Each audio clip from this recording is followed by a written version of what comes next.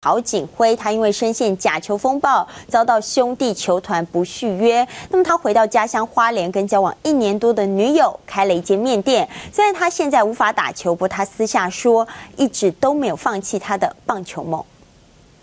肯定招牌的我的红烧来。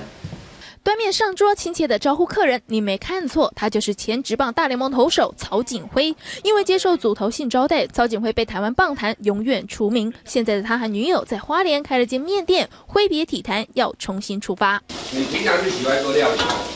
呃、是还好啦，对，不过很喜欢吃倒是真。曹景辉和女友是在和陈志远共同经营的烧烤店认识，两人都喜欢美食，干脆一起开店。女友负责前置准备工作，曹景辉则是拿起锅铲亲自下厨。不过曹景辉也坦言，从未放弃棒球梦。年轻一辈的选手啊，会私底下找我，然后做一些帮他们辅助他们的一些技术的部分，我都有帮忙。